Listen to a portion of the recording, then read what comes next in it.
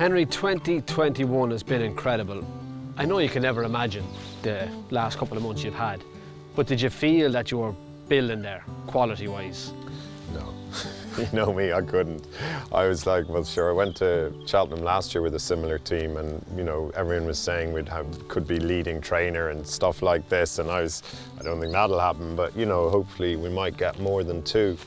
And we still ended up with two, couple unlucky, couple that didn't go right, you know, whatever, various reasons. But this year, everyone was saying, is this is, you know, the strongest team you've ever had? And I was going, I'm not sure. I think last year was was as strong, funnily enough. You know, but a lot of things fell right for us. You know, we just it just clicked. Our jockey was riding out of our skin. All our jockeys were brilliant.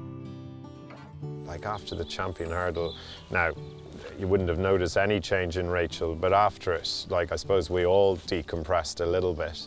And um, That comes with that release in Cheltenham.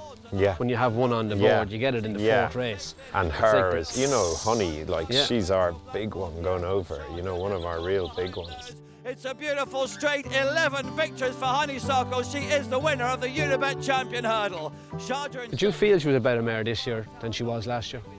I thought she was just so impressive at uh, Leopardstown, yeah. At home, did I? Not really. She's bigger and stronger. You've seen her there. You know, she's, she's always been a slight enough mare, but she definitely was bigger and stronger this year. You've had such a good week. You have A Plus Tard and Minella Indo in the Gold Cup. Are you thinking, have I had my lot? I was sure after the champion hurdle, I was thinking I had my lot. You know, that's me. Um, what am I thinking? Look, I just want them to come back all right. You know, that's that's really what I'm thinking. Hopefully, put up a good performance, but come back. You know, these geez, these are horses you dream of having. You know, Top of the hill, are you thinking, I'm going to win the Gold Cup?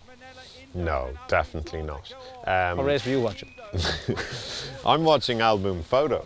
And, and I'm watching my two taking each other on down to the second last, going, oh, geez, they're, they're going to cut each other's throats. And here's Paul hunting away, hunting away. No, about halfway up the hill, I'm going, okay, yeah, we're going to win the Gold Cup. This is unbelievable. But yeah. you're going to have the first and second. Yeah, that's dreamy stuff. That's crazy, yeah. Minella Indo is all out, flat out, but he wins the Gold Cup from his second up, Lutard. So you make your way home on the boat from Cheltenham, lockdown, no massive party, and then you're going back to Aintree. And you're kind of thinking, well, sure, look, we always had Cheltenham. Or are you thinking in the Grand National to have a life? You're always hoping, aren't you? But I, you know, I yeah, like you're kind of going. It's a bit, yeah, you know, Lady Luck might have left us now or whatever, and and and that's it. Like what an unbelievable season we've had. See three of them going out on the second circuit. Like it's a race we haven't really, you know, I think we finished seventh in it. Fast forward on then, going out in the second circuit, back at the Canal Turn, back at Valentine's. You still have three, three live chances. Yeah, yeah, it was incredible. Are you starting to not look at the big screen now, or are you thinking what's going to happen, or you know what, the run I'm having, these are just going to be first, second, and third? Um, I'm starting to think, uh, yeah, like just Rachel, like when you saw your dad's horse getting more or less taken out of it, that horse could have fallen either way. And I'm going, is she seeing around corners or, or are we just getting an unbelievable run here? You know, because that could easily have happened either way. In a bad year, he'd have fallen to his right. You know, you have to give Rachel a lot of credit. Um, but then Paddy's cantering, uh, any second now is coming back into it. Um, but our two are cantering as well. Like, yeah, we're going to certainly get our best run in a national anyhow for a start. So that's exciting. Jump the last, three becomes two, Yeah. and it's just your two. But you're standing there thinking, champion hurdle, champion chase, Gold Cup, and the Grand National. Could you believe what you were watching? No, I actually had a little bit of a tear in my eye. I, I was just, I was stunned. Alice Plunkett came over to me straight, you know, more or less before they crossed the line, and yeah, look, no, you couldn't, you couldn't just, yeah, blown away. Minella Times for J. McManus, Henry de Bromhead, and more significantly, Rachel Blackmore. History in the National. Minella Times wins from Balko des Flos.